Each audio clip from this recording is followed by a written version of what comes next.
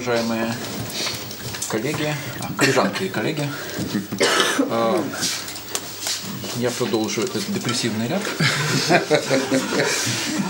А, один из наших коллег в свое время выдвинул э, термин «государство-резонатор». Что такое, что есть э, присутствующий за этим столом? Куда это он делся?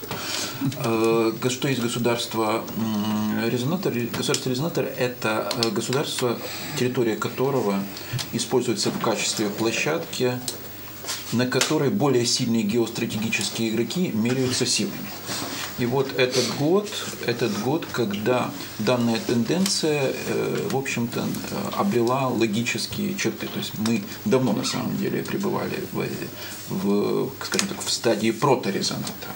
А в этом году мы уже окончательно столкнулись с тем, что мы являемся резонатором. То есть произошла, если можно так выразиться, резонаторизация э, украинской политики. Мы являемся площадкой, на которой ведут борьбу более сильные геостратегические игроки. И это, здесь ничего нет нового. В такой ситуации оказывались десятки стран, и это та ситуация, в которой Афганистан был в 80-е годы, 70-80-е годы 20-го столетия, или Ангола, или Мозамбик, э, или, например, э, можно более мягкий вариант, там, это Египет, где там, например, шла борьба между Катаром и Саудовской Аравией. Э, Катар поддерживал братьев мусульман, Саудовская Аравия поддерживала армию и так далее и тому подобное в Украине. Э, просто то, та борьба, которая в, а, конце 20-го столетия наблюдалась в странах Азии и Африки, она переместилась к нам ближе. И, и э, значит, она, да, может можно сказать, что она, да, что она, что она вернулась. Различие состоит в том, что сейчас, в отличие от времен холодной войны, намного больше взаим... Россия, то есть Москва не является сверхдержавой, а является великой державой, рангом ниже, и что и, э, и Москва, и, э, и Запад так или иначе вписаны в некую единую систему мирохозяйственных связей и с друг, друг другом более зависимы, чем это, допустим, было во времена, во времена э, холодной войны. То есть вот это первая, первая тенденция – это резонатуризация, которая сопровождается сомализацией от слова «сомали» на э, территории, где ведется, ведутся боевые, боевые действия. Следующая тенденция, которую можно выделить, это том, то, о чем говорил Константин Петрович. Он сказал «дезориентация». Вот слово «ориент Восток». Но я позволил бы здесь внести некоторые э, коррективы, некоторые уточнения. Действительно, мы можем там констатировать, что происходит дезориентация, дезориентация и усиление при этом внешнего воздействия. Это мы видим на примере министров иностранцев да, в отношении нашей управленческой системы. Но есть э, один очень важный, э, очень важный здесь, на мой взгляд, а, аспект. Эта дезориентация на самом деле не сопровождается настоящей оксидентализацией. То есть страна на самом деле не входит в, напрямую в сферу влияния Запада. То есть Запад, как и ранее, не берет на себя ответственность за ситуацию в стране, как он взял за ответственность за ситуацию в Болгарии, Румынии, странах Балтии и так далее и тому подобное.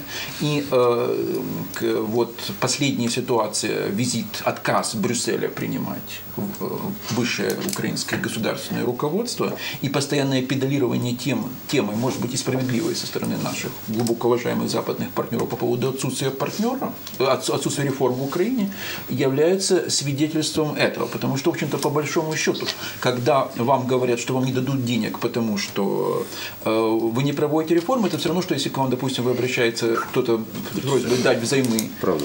приличную, да, приличную сумму, а вы говорите, нет, я не могу вам дать, потому что вы не хороший человек. Вы не проводите реформу, вы там, да, и э, вы не хотите измениться к лучшему и, тому, и так далее и тому подобное. То есть, в общем-то, по большому счету, Э, Украина сделала шаг от э, ориентального вектора, но на самом деле она не включается серьезно в оксидентальные, в оксидентальные связи и с этой точки зрения показательная критика, которая раздалась со стороны Штефана Фюля, бывшего комиссара, э, по расширению в адрес, де-факто это была критика в адрес Германии и Меркель по поводу того, что сама по себе позиция Европейского Союза во многом спровоцировала тот хаос, который мы сегодня наблюдаем, когда, с одной стороны, Европейский Союз подчеркивал, что ассоциация несовместима с ассоциация с ЕС несовместима с членством таможенный союз, и с другой стороны, Европейский Союз не предлагал Украине перспективу членства в составе Европейского Союза. И последнее заявление Зюлковского, который сказал, что на протяжении ближайших пяти лет никаких разговоров при такой ситуации о подаче заявки со стороны Украины быть не может, лишний раз э, подтверждает э, этот э, диагноз. То есть Украина, Украина вторая, если первую тенденцию мы определили как резонатаризацию, совмещающую сомализацию на отдельных территориях, то вторая, вторая тенденция это все-таки буферизация. Украина закрепилась в роли закрепилась в роли буфера, и при этом наши западные партнеры не берут на себя ответственность за, э, за социально-экономическую ситуацию в стране, так как они взяли ответственность за ситуацию в Польше и, и Балтии.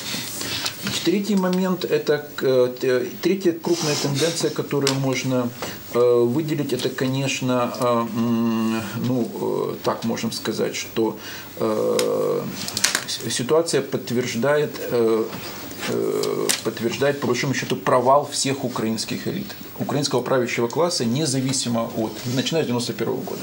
То есть, по большому счету, в этом году мы наблюдали результат деятельности всего украинского правящего класса, независимо от фракций, независимо от внешнеполитических ориентаций и независимо от регионного происхождения. По большому счету, э, утрата территориальной целостности и нынешний кризис – это красная карточка всему украинскому правящему классу. На мой взгляд, этот большой провал и восточных, и центральных, и западноукраинских элит э, связан с тем, что с 1991 года подспудно украинский правящий класс рассматривал свою страну, как нашу страну, как маленькую страну. То есть вот где-то подспудно есть стереотип, что Советский Союз это большая страна, а Украина это маленькая страна, которую кто-то может прокормить. То есть, а, учитывая, а на самом деле Украина не может быть прокормлена ни Западом, ни Востоком, ни, ни ЕС, ни, э, ни, э, ни Россией.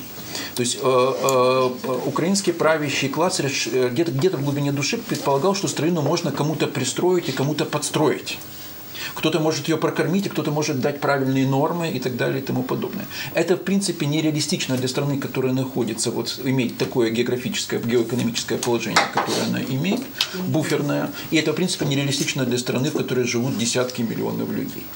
А, и это, по большому счету, появление нынешних министров иностранцев – правительстве. Это результат того, что подспудно с 1991 года украинский правящий класс не хотел самостоятельности он хотел взвалить на кого-то ответственность, будучи директором-распорядителем здесь, на ту или иную сторону.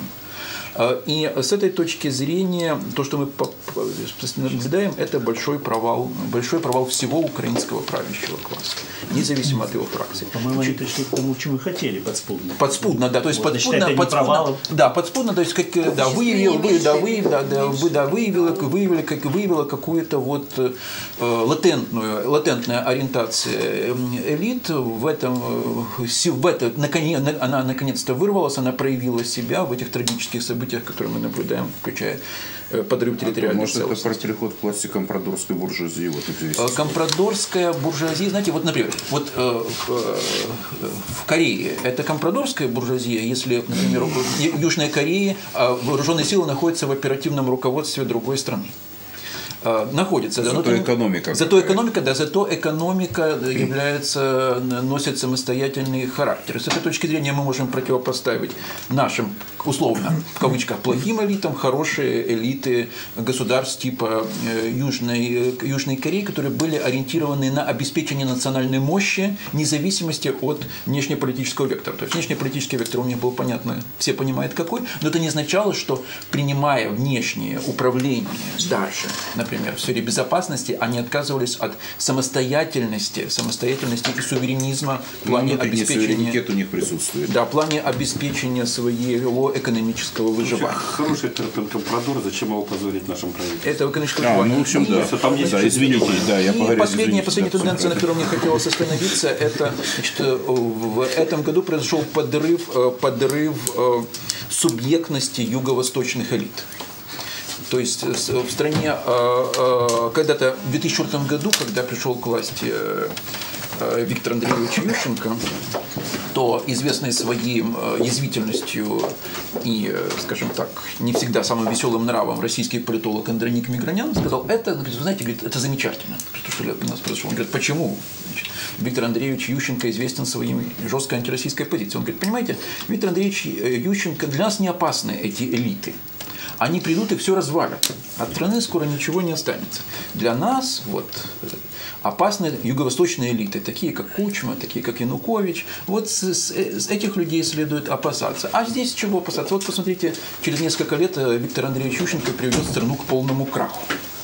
Значит, я тут дальше не буду комментировать в этом плане, но э, факт состоит в том, что сейчас э, э, э, элиты, юго-восточные элиты как таковые, а ну, оппозиционный блок нельзя рассматривать на самом деле как заменитель партии, э, партии регионов, они э, утратили субъектность за счет появления таких образований, как ДНР, ЛНР с одной стороны, и за счет того, что сейчас э, в- во власти доминируют элиты э, Запада и Запада и центра, а элиты э, Юго-Востока находятся под, э, э, под определенным э, психологическим прессингом. Благодарю вас за внимание.